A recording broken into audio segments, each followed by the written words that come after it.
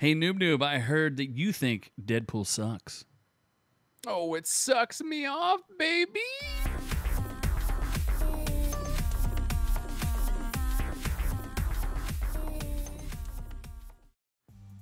Oh, hell yeah. That's right. This is our reviews with Kiryu. Will kill you. With Noob Noob and Z. And we're going to talk about Deadpool. We won't talk about the Phillies and the Cubs. We're here for baseball today. This is a baseball blue Baseball powder blue teams. podcast. powder blue baseball teams. That's right.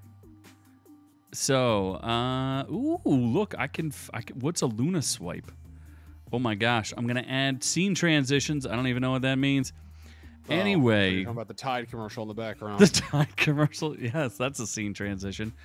So, why, why, without spoiling anything yet, we won't go into spoilers right away. What did you think about Deadpool? Thought it was pretty neat. Um, Neato. You know, it was. Yeah, it was. I was just watching. I was like, you know, neat. Honestly, I on, I thought it would have been better. I thought it would have been better. Really, you thought it would have been better? Yeah, like I was watching it and I'm like, this is Thor three. So like I Thor: was Love and it in the Thunder? No, not the not the gay one.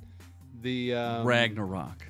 Ragnarok. There you go. Like it was a really fun movie, and then two minutes after you left it, you're like, what was the point of that? And there is no point. The point is, it's a of- Deadpool movie, though. Yes, but some of it fell flat. Although once they got the once they got the stuff rolling with the cameos at the end, like the larger cameos, I was like, all right, I'm with this. Interesting. I There's still no point to it. Yeah, but who? Ca- that's the point, though. Is I guess I came to it with into it with really low expectations, so I didn't think it would. I thought they would totally screw it up, and it was way funnier than it had any right being. Like it, it shouldn't have been like- that funny. Hugh Jackman as Wolverine's great in this. I will also say that it was a Wolverine movie, not really a Deadpool movie. If you really think about it. For 94, he's gonna go till 90. See, we're getting We've got him till 90. That's right.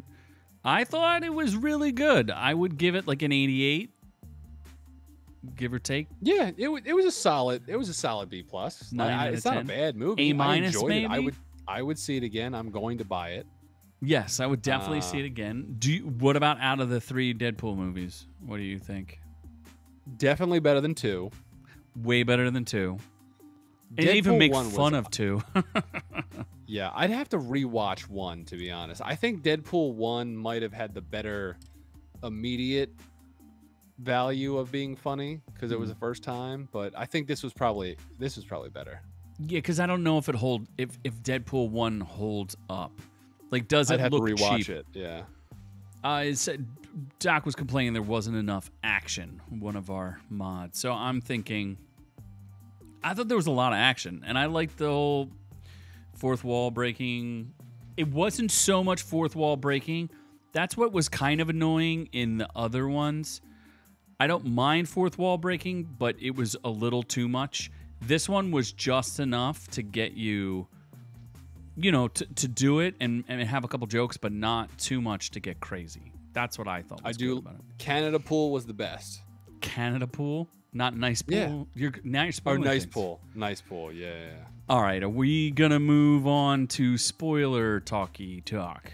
So we both Sure. recommend it. You should definitely check it out. If you don't want spoilers, move on from this point. We're gonna try to add a little bit of flavor because the spoilers we're gonna put some context to them. This to We're me, gonna go through a list of spoilers. who was in there. No, just every every list. We got Hugh Jackman's in there. Hugh Jackman, Channing Tatum's in there. Henry Cavill's in there. Uh, Well, why Wesley Snipes is in there. Stop just going through the spoil. Just talk about them like I'm doing a thing from you did. Oh, you didn't watch it yet, I guess, right? the pitch meeting. Yeah. The pitch Yeah, I did. That's where he goes. Yeah, and he goes to a fucking sleep. seizure. and he, then he goes, uh, he goes, "Are you a doctor?" No, I'm just another producer guy. My to- my wife told me if I wore this white, I told my wife if I wore this white jacket, people would think I was a doctor. exactly. He's yeah. like, "Well, Just can I tell you all the cameos. cameos?" no, that's a bad idea. I thought there was honestly going to be more cameos. Uh, there were probably more than you realized.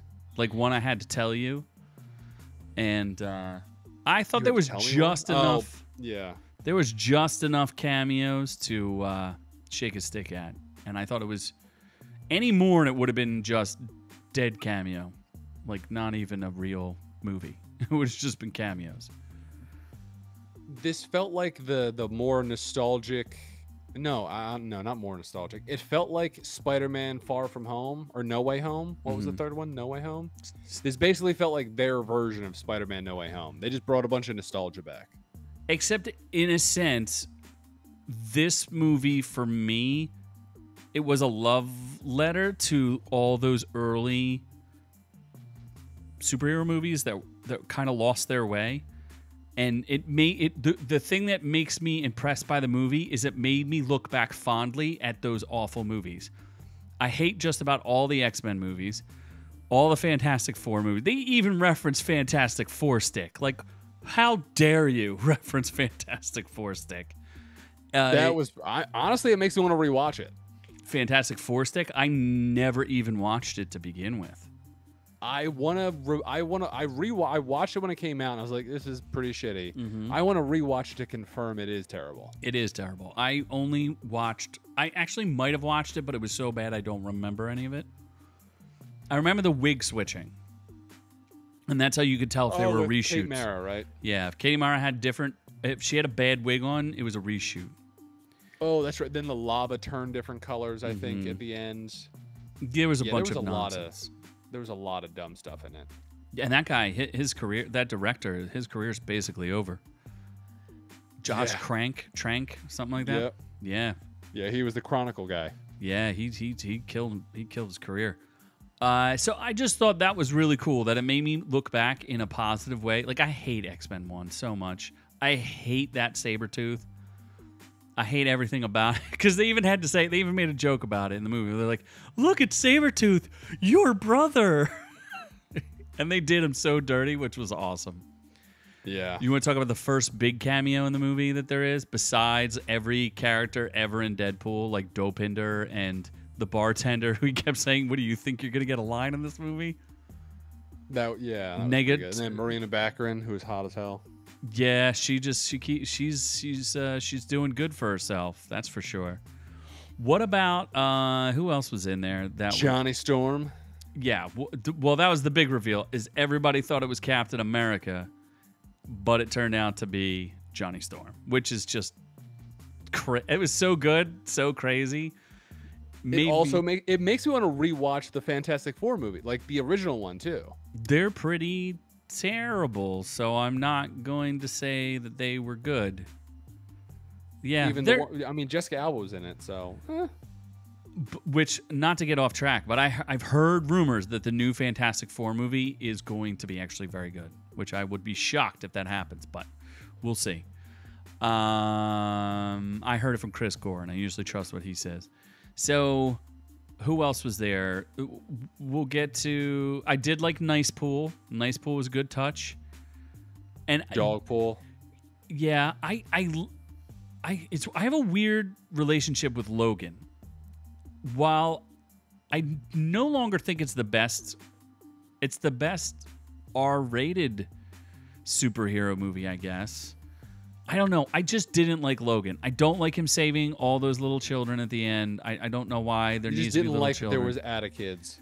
I hate add kids so much. Why add kids? Just kill the kids. Although okay. the kid, like that kid, is pretty hot now. Dafne Keen, I think she's pretty hot. Did you see her in the acolyte? she ain't hot that. No, but like in this, I'm like, Verdejo. she, yeah, she, she pretty, she pretty cute. Yeah, but what has she acted in besides the acolyte, which is she's clearly a Disney kid. I actually liked her in the acolyte. I thought she was good. I thought she was good in this too. But Yeah, I, I thought she was good for her very small screen time. I, I, and I also don't like in Logan how he fights a clone of himself. He shouldn't have fought a clone of himself. That was stupid. At the very end, I thought that was dumb. Does he fight a clone of himself? Yeah, he fights a that. clone of himself. Yeah, and that's, and I thought it was cool that they could recontextualize Logan on some level, like a little bit. Uh, opening sequence. Pro- what did you think about all the Loki nonsense? I thought that was a great joke where he's like, "You mean from season one, episode five of Loki?" I think there was too much TVA Loki nonsense. involved in it. without actually Loki showing up. Like Loki should have shown up at that point.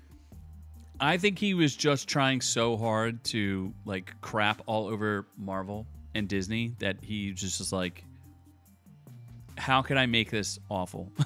like that black chick they added. Do you even know who she is? You have no idea. Who literally does nothing. Wait, who?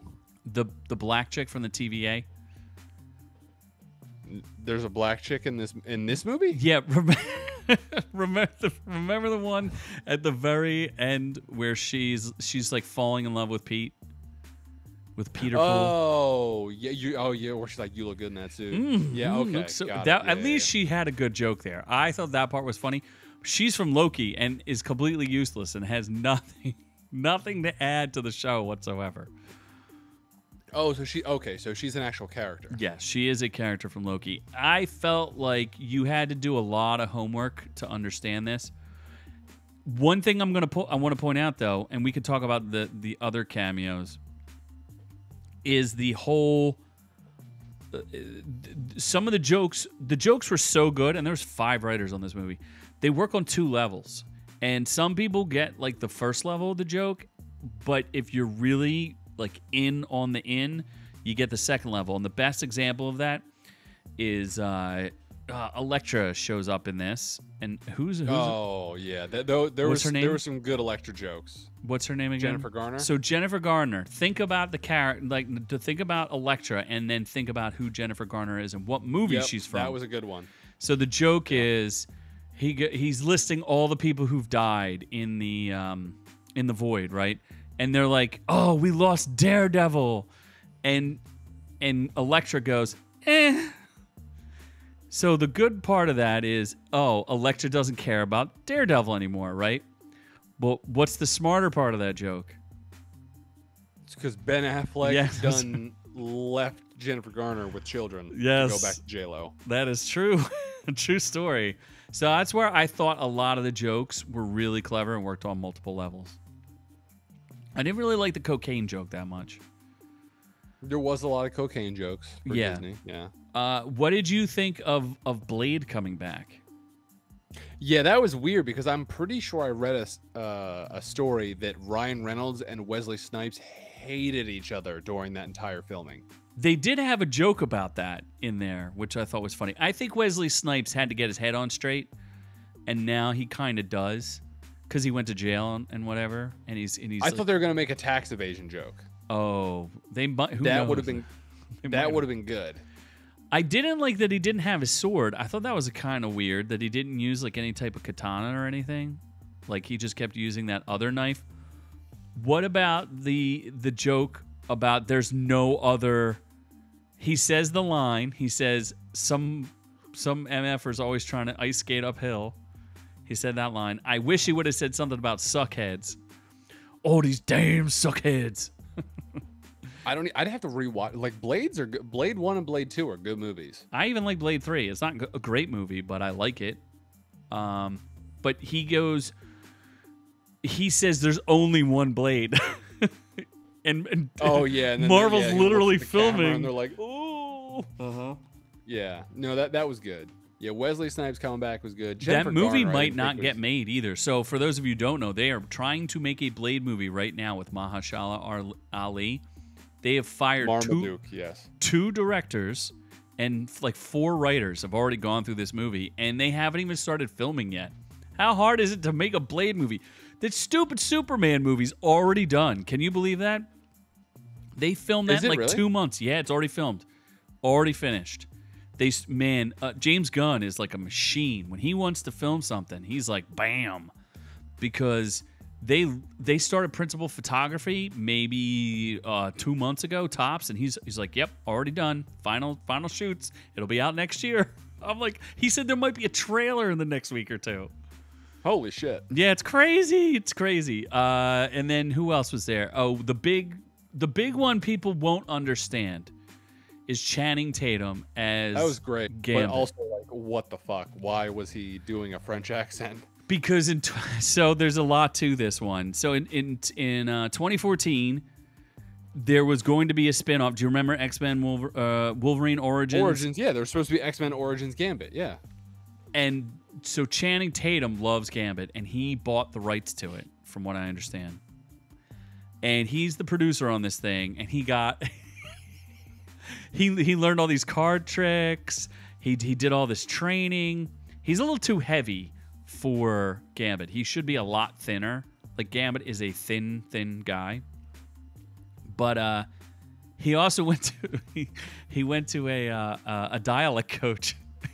And Ryan Reynolds made fun of him for it. He's like, I don't know who your dialect coach is, but you're just massacring this. So I thought that was pretty funny. So in the very, very beginning, I thought he was awful. I was like, this this movie never would have worked. I cannot believe it. But then towards the end, when he actually subtly went into the French Creole accent and was just being Gambit, I actually thought it worked. Is Gambit supposed to have a French accent? Yeah, he's French Creole from New Orleans. Oh, okay. I was like, I thought he. That's just why he always says a "mon chéri." He says "mon chéri" to Rogue all the time. Oh, okay. I thought he just made a really No. stupid accent for You, no you reason. never watched the X Men uh, TV, like the not the comic book, but the the show, No. like the animated show. No, I'm the only Nope. one to review. Okay, well, I watched it, and yes, he has a an accent. That's that's the whole point. He was a uh, pickpocket in New Orleans. That was his job for a while. No. Yeah. So so Channing Tatum wrote a whole like love letter to Ryan Reynolds saying I can't believe like he's like I never in a million years thought Gambit would ever make it to ever to screen. You fulfilled one of my life dreams. He's like I can't thank you enough. It means so much to me. So he's basically crying the entire time. The only other thing is I didn't like the suit reminded me too much of like what's the X-Men Apocalypse? Like it reminded me too much of the old X-Men suits. Not enough of like a new like updated suit, like a more Marvel looking suit, you know what I mean? I don't really know Gambit suits Oh. all that much. I His Don't power was if he had- awesome. Blowing people up with cards was pretty cool. I mean, he he does seem pretty weak, but he was very powerful. Yes, he is. Well, he can charge people with kinetic and charge things with kinetic, kinetic energy. Uh, what was oh, and Wolverine in his full costume was. Was It looked weird though. really, I really liked it. I really, really liked it. It I thought it was kind of weird. What was weird about it? The eyes? Maybe that's what threw you off. Yeah, it was the. I think it was just because you're not used to him being in costume. Yeah. On any of the times he played the character, I'm like, eh, it looks cool, but it's weird. He's yeah, he's never played the costume, and they kept making fun of that. I mean, there, there. It, that's what's weird about the show or, or the movie. There's, there's not much to the plot, and you know that Cassan. They spent too much on her sticking her hands in people's faces. That was just That was bizarre and weird. weird. Yeah, I don't, I don't know why they spent so much money on CGI for that. Um, but I, I really, I think all of the subtle jokes and the, the interplay between Hugh Jackman and Ryan Reynolds made the movie because the two of them were just excellent together. I was gonna say, The, the dramatic scenes was what made the movie. I agree with you, and that's why I'm saying it's a lo- it's really a Logan movie. It's really a Wolverine movie. It made that, That made the scene movie. in the car that I sent you, I was like, that that's easily, I think, the best scene in the movie. I liked the, the interaction between him and X23. Like all the little subtle scenes were really good. I also like the idea that uh, Ryan Reynolds, he you could you you began to feel Wolverine's exasperation with him not shutting up. Till it boils up to that scene where he like you know he criticizes Yeah. Deadpool and he shuts him up where I, that was really really good because you were just like he just kept going. He was like a motor mouth. He would not stop making jokes and talking and talking and talking till the, finally got to the point where you could you could sense Wolverine was about to lose it. But as an audience member, I'm sitting there like, oh my god, just shut him up already. Like he just won't shut up. And I thought they played that out very very well. I thought that was executed excellently for like a dumb comic book movie that was really subtle and very solid to get the audience to feel the same as Hugh Jackman, where you're like, "Can you just kill him already?" I thought that was really clever. You didn't get Yeah. you, you missed that. That went over your Where head. they, where they couldn't die? What do you mean? Uh huh. Okay, what about the the last cameo? I guess we could talk about is uh, who was Lady Deadpool? Who did I have to tell you it was? oh, Blake Lively? hmm Is it confirmed? Why didn't they unmask her? I don't know. Because I think Is that would have been too meta. That would have been way too meta. Is that Blake Lively in the suit though? Uh, as far as I know, it was, but who knows? I mean, she's up for that. Why wouldn't she be? I don't know. She just had she had some kids. Is she really in that fine tune? Oh my gosh, it's a bodysuit. It holds a lot in there. All right. Did you? Oh, and by the way, Hugh Jackman. My word. Did you? Did you even get the joke when they're hitting the radio and they played the "This is the greatest, uh, the greatest show" or whatever, the greatest Oh, showman? because he did the Greatest Showman thing. Yeah, and then he made a joke about having him sing. like the jokes were really Yeah. clever. Like they did a really good job. I think the original the writers from the original Deadpool were part of the five writers who worked on it. No, yeah, they there were good jokes in there. Yeah. Uh, I I really liked it. I thought it was very very good. I enjoyed it. I don't know what else there is to say other than make me Uh, four more sequels. They're gonna make uh they're gonna make a Wolverine and Hulk movie next. no, really? That's what I heard. That's what I heard. I can't imagine. I think they're just gonna team Wolverine up with different people until he dies. we've got until he's 90. yeah, basically. He, oh, did they up. say that the divorce really took a toll on him? Oh, that was a good. That was a good one. That's a really Yeah. good joke. That was a really good joke. I think only Ryan Reynolds could get away with that. No, because they did it in Rick and Morty. They Oh, did the true, same yeah. exact joke in Rick and Morty, and he was the voice in that episode. That's so, true. Yes, Hugh Jackman got divorced from his beard. Very sad. And now he is secretly gay with Ryan Reynolds. Oh, probably. Yeah. So, highly recommended for both of us. Uh, let us know what you think down in the comments below. We would love to hear, like, what was your favorite cameo? Would you have liked to seen anybody else? Did you think it was cheap that they just went with a little Spider-Man, like pew pew pew? You know, would you like to see the Merc with the mouth? They even allude to Punisher and don't even show him, and they even say which Punisher's the best Punisher. Obviously, uh, the the what's his face? Thomas Jane. Oh, isn't John Barringer? No, not Thomas Jane is the best Punisher. Are you kidding me? Jon Bernthal. Yeah, Jon Bernthal. Isn't he coming back? I think so. Yeah, so maybe they were alluding to that. I don't know. I thought I I'd- I'd have to see it again. There were so many jokes. So let us know what you think down in the comments below. In the meantime, check out our podcast. We live stream it here on YouTube, 7:30 p.m. Eastern Standard Time. Like, subscribe, join the channel, feed a starving noob noob for a dollar. See that TV I in the background? money. He can't. He could barely afford that thing back there. He This broke is it. only a 55 inch TV. I need at least a 75. so help him get there. Look at these little tiny monitors I have in the background. Anyway, uh, thank you so much for listening. We love all y'all, but we are on to the next one.